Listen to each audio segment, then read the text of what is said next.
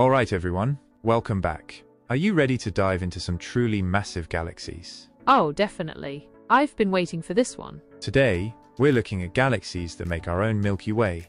The place we call home look like a tiny speck of dust in the universe. That's a perfect way to put it. We've got five mind-blowing galaxies on our list today. Malin 1, UGC 2885, Messier 87 or M87, IC 1101, and lastly Messier 60, also known as M60.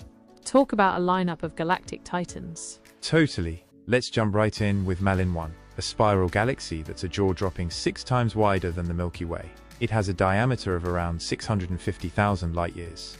It's a monster of a galaxy, but incredibly faint. Malin 1 is what astronomers call a low surface brightness galaxy. Low surface brightness? So it's like hiding in plain sight or something? Kind of. Imagine a sprawling city, but the lights are really dim and spread out. That's what a low surface brightness galaxy is like. So it's massive, but hard to see. Exactly. Its stars are so spread out that it almost blends into the background darkness of space, making it tricky for astronomers to study. Got it. Now let's talk about UGC 2885, another spiral galaxy. But this one has a unique twister bar running right through the center. Ah, yes, a barred spiral galaxy. It's like a cosmic highway of stars and gas stretching across the galaxy's core. So what's the story with these bars? What makes them so interesting? Well, imagine the galaxy as a spinning disk of stars, gas, and dust. The bar acts as a mixer, funneling gas and dust toward the center, which can help create new stars. So it's like a star-making machine?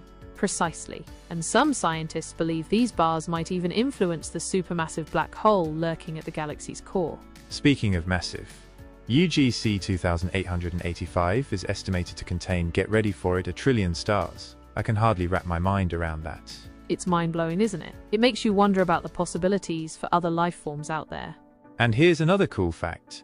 UGC 2885 might be part of a supercluster called the Pisces-Perseus supercluster. So what's a supercluster, and why is it significant? Imagine a giant city made of galaxies instead of buildings. Superclusters are these vast congregations of galaxies spread across enormous distances. So if UGC 2885 is in this supercluster, it's like being a resident of a cosmic megacity. Exactly. All these galaxies are gravitationally connected, interacting in ways we're still working to understand. It's amazing how everything's linked on such a huge scale. Let's shift gears a bit to Messier 87, or M87, which is an elliptical galaxy.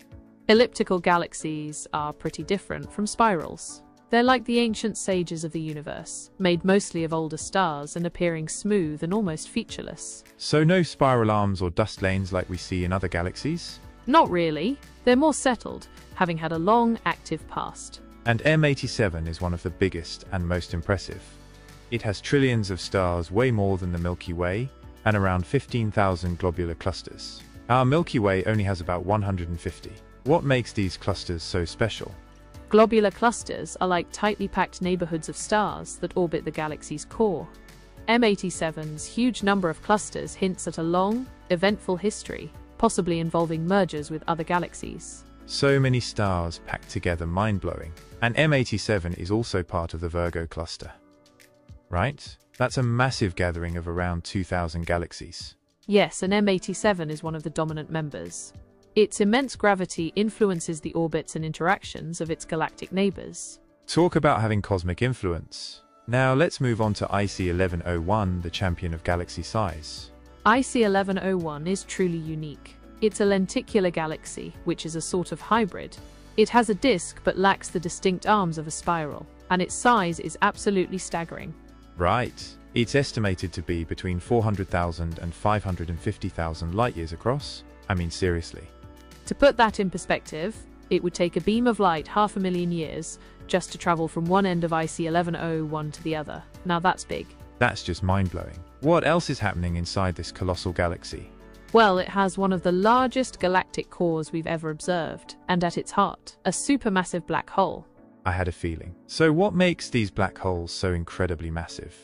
Supermassive black holes are millions or even billions of times more massive than our Sun. Their gravity warps space and time, and they're still one of the biggest mysteries in astrophysics. Our final stop takes us back to the Virgo cluster, where we find Messier 60, or M60, another elliptical galaxy. Not quite as enormous as IC 1101, but still a giant compared to the Milky Way. Absolutely. M60 has a mass of about a trillion suns. Just imagine the gravitational forces at play. And like the other galaxies we've covered, M60 has a supermassive black hole. But this one's especially massive. It's about 4.5 billion times the mass of our Sun. It's staggering to think about how these black holes shape the evolution of entire galaxies. They're like the architects of the universe, influencing the distribution of matter and energy on a grand scale. And remember, this is just a glimpse of what's out there. The universe is filled with galaxies, each a world unto itself. Absolutely. So next time you look up at the stars, remember the vastness of the cosmos and all the mysteries it holds. Who knows what other wonders are waiting to be uncovered? The journey of discovery never ends. Couldn't agree more. The universe is full of surprises, and we're just beginning to scratch the surface. Leave a comment below with your favorite galaxy from today's lineup, or if there's another topic you'd love us to explore. And if you're new here, make sure to subscribe to Rare One for more incredible deep space discoveries and cosmic mysteries. See you next time.